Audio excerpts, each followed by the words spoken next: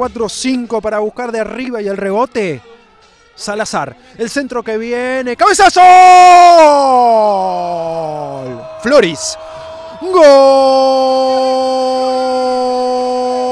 de Alem, lo hizo Roberto Flores Ganó el central en las alturas.